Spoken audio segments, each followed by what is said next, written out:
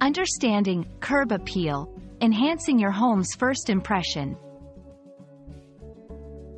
Hello, everyone. Welcome to our English language learning series. Today, we're going to explore a very interesting phrase, curb appeal. This term is widely used in real estate and home improvement contexts, and understanding it can really enrich your English vocabulary. So, let's dive in and find out what curb appeal means and why it's important. Curb appeal refers to the attractiveness of a property and its surroundings when viewed from the street. This term is crucial in real estate because it's all about the first impression a house makes on potential buyers or onlookers. It's the charm and allure that can make a passerby stop and admire the house or even entice a buyer to explore more. There are several elements that contribute to a property's curb appeal. These include landscaping, well-maintained lawns, attractive flower beds, and neat hedges.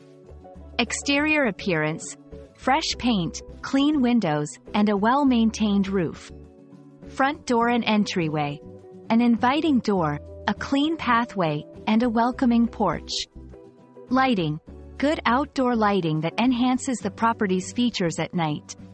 Each of these elements works together to create an overall appealing and welcoming impression.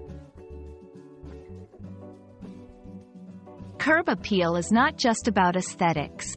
It plays a significant role in real estate. Homes with high curb appeal tend to sell faster and possibly at higher prices. Neighborhood value. Properties with good curb appeal can enhance the overall appeal and value of a neighborhood. Personal satisfaction. Enhancing your home's curb appeal can provide a sense of pride and accomplishment. That's all about curb appeal. We hope this video has helped you understand this interesting phrase and why it matters in real estate and home improvement contexts. Remember, first impressions count, and that's exactly what curb appeal is all about. Thanks for watching, and see you in our next video.